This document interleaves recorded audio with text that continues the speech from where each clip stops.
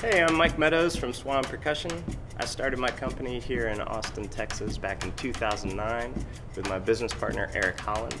Since that time, we've gotten our products placed in retailers in the US, Canada, Mexico.